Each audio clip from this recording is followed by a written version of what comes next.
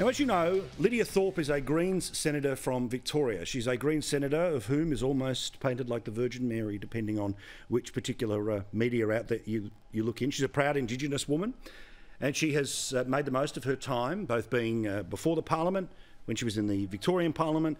She's been quite an activist.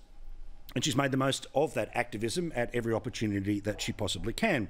However, because she's just like every other politician, we're allowed to criticise them, right? Without it being called racist, sexist, or all the other ists that end up kicking in. So we had a little fun at her expense last week when uh, this supposed, you know, champion of the battlers was there in the chairman's lounge in Qantas while wearing the Stolen Worth T-shirt. Anyway, well, she's decided to blow up about some bail law changes that the Labor government has introduced into the Northern Territory. These laws, put simply, are going to make it harder for people who are known recidivist crooks to be able to get bail. It's pretty common sense stuff. Now, uh, under all of this, the police minister in the Northern Territory said that we know that 16% of youths commit 50% of the offences, and it is important to make sure that people are accountable to their bail conditions. Sensible, right? That's exactly what this legislation does. But Lidia Thorpe decided to see an opportunity here to point and scream. And she did so in the past couple of days, unloading on the Territory Government. I do hope the Attorney General, given he probably didn't read the Royal Commission recommendations, hopefully he listens to these experts. Hopefully they're white, and, you know, white is right in this place. What?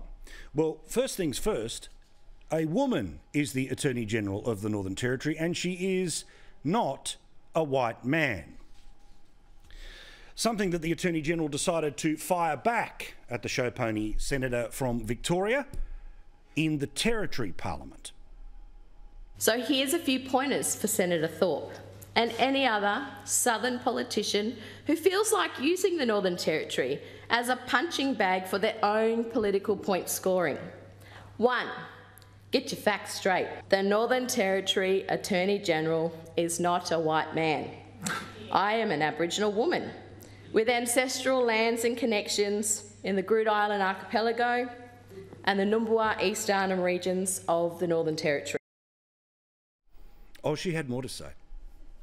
Two, when you front a committee hearing in Borroloola, don't play on your phone the whole time. People notice. Three, remote travel 101.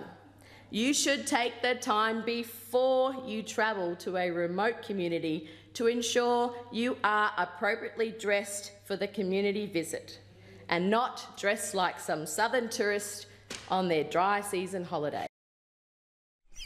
Middle stump, well played, Northern Territory Attorney General, who is definitely not a white man. Well done.